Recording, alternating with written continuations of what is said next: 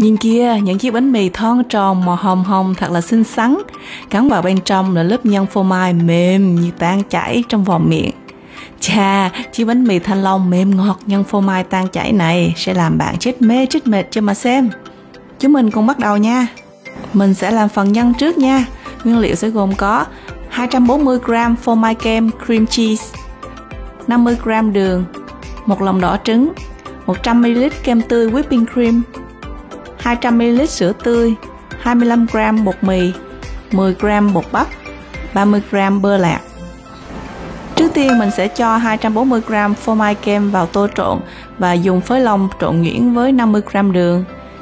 Bạn nhớ để cho kem phô mai trở về nhiệt độ phòng để cho dễ đánh nha. Sau đó tách lấy lòng đỏ trứng và cho vào trộn đều. Tiếp theo mình sẽ cho vào đây 100ml kem tươi whipping cream và 200ml sữa tươi, rồi dùng phới lòng trộn đều lên.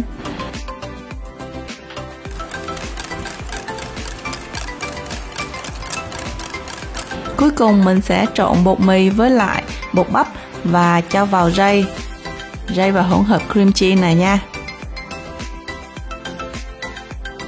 Sau đó bạn bắt hỗn hợp lên bếp để lửa nhỏ Dùng phới khuấy liên tục và đều tay để không bị cháy phần đáy và quấy cho đến khi nào mà hỗn hợp đặt lại sánh mịn.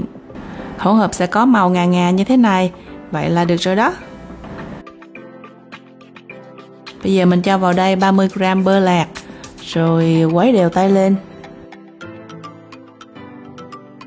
Khi bơ tan hết và đạt được một hỗn hợp đồng nhất, Dùng màng bọc thực phẩm bọc cho sát cái mặt của lớp pudding này để cho hỗn hợp không bị khô mặt và để nguội, rồi cho vào ngăn mát của tủ lạnh. Khi phần nhân pudding đã lạnh sâu thì mình sẽ lấy một cái miếng màng bọc thực phẩm, lót lên một cái khay hoặc là một cái dĩa. Mình sẽ dùng muỗng hoặc là vá bút kem, chia cái phần nhân phô mai này ra thành những phần đều nhau, rồi để cách nhau ở trên cái khay này. Sau đó mình sẽ cho nguyên cả khay này vào cốc đông ở trong ngăn đá của tủ lạnh để khi mà tạo hình thì mình sẽ mang ra dùng. Cho phần bánh mì thanh long mềm ở bên ngoài bạn sẽ cần có 500g bột mì đa dụng, một cái trứng gà 80g đường xay hoặc là đường cát cũng được, hai muỗng sữa bột 5g muối 10g men nở 100ml sữa tươi 170ml nước ép thanh long đỏ và 45g bơ hoặc là dầu ăn thanh long đỏ thì bạn cần khoảng nửa trái, gọt vỏ rồi cắt nhỏ và cho vào máy xay nhuyễn, đông lấy 170ml thanh long chính là bí quyết làm cho bánh có màu hồng rất là đẹp mắt mà không cần dùng đến phẩm. Tiếp theo ở trong một cái tô trộn lớn, bạn cho bột mì với đường bột và sữa bột, thêm vào cả men nở instant yeast, muối và trộn đều lên. Tiếp theo mình sẽ cho vào đây sữa tươi, nước ép thanh long và dùng phới trộn đều. Khi hỗn hợp bột đã đồng nhất thì mình sẽ cho tiếp 45g bơ ở nhiệt độ phòng vào và trộn đều.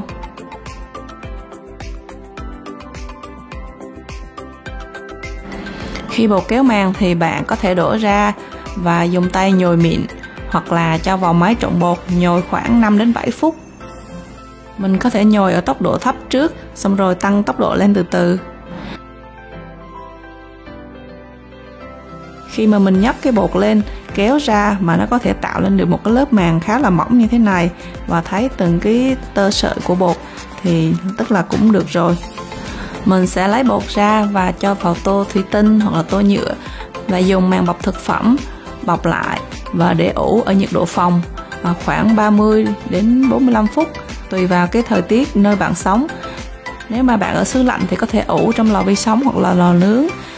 Nhớ đặt một cái chén nước ấm bên cạnh và không có bật lò để khoảng 45 đến 60 phút hoặc là đến khi nào mà bạn thấy bột nó nở gấp đôi là được. Sau khi ủ lần một và thấy bột nở ra gấp đôi thì bạn đem ra à, đấm xẹp xong rồi sẽ tạo thành hình trụ dài. Mình sẽ dùng miếng cắt bột và chia bột thành khoảng 16 miếng đều nhau. Bạn dùng cây cán bột và cán cho cái phần mép xung quanh nó mỏng hơn cái phần ở giữa. Rồi lấy cái phần nhân ở trong tủ đông ra và lấy ra một miếng đặt vào giữa gấp các mí lại thật chặt để tránh khỏi bị xì nhân sau khi nướng. Sau đó thì mình sẽ đặt vào trong một cái, cái khớp giấy và nhớ là để cái mí xuống dưới nha. Bạn cứ tiếp tục làm như thế cho đến khi hết bột xong rồi mình sẽ để ủ cái bánh cho nó nở thêm một chút xíu nữa khoảng 15 đến 30 phút. À, rồi mình đem đi nướng. Mình sẽ bật lò nóng ở nhiệt độ là 150 độ C. Và sau 10 phút lò đủ nóng rồi thì mình sẽ cho bánh vào nướng khoảng 17 đến 20 phút. Bạn lưu ý là mình nướng ở nhiệt độ khá là thấp để cho giữ được cái màu hồng của cái bánh. Nếu mà mình chỉnh lửa hơi cao thì bánh nó sẽ bị vàng và nó không có còn cái màu hồng đẹp như thế này nữa khi bánh chín thì bạn để cho nguội hẳn xong rồi mình sẽ à, dùng cái phần phô mai còn lại trét một lớp mỏng làm topping xong rồi mình sẽ rải phần à, trà bông lên trên. Bánh có trà bông thì ăn nó sẽ có vị mặn mặn và sẽ đỡ ngán hơn là ăn với nhân kem không. Bánh này bạn có thể bảo quản trong ngăn mát của tủ lạnh khoảng 3 ngày. Nhớ bọc kín lại nha. Và khi nào ăn á, thì mình có thể cho vào lò vi sóng khoảng à, 10 giây là cho bánh nó nóng và cái phần nhân ở giữa nó sẽ chảy mềm ra ăn sẽ ngon hơn. Nhìn nè bánh cực kỳ mềm và xốp. Phần nhân bên trong thì mềm tan chảy và thơm béo. Phần rút bông thì mặn mặn càng ăn càng ghiền. Mọi người hãy làm thử và nhớ gửi hình cho Helen nếu làm được nha. Đừng quên bấm vào theo dõi trang Facebook và kênh YouTube của Helen nha. Cảm ơn mọi người. Bye bye.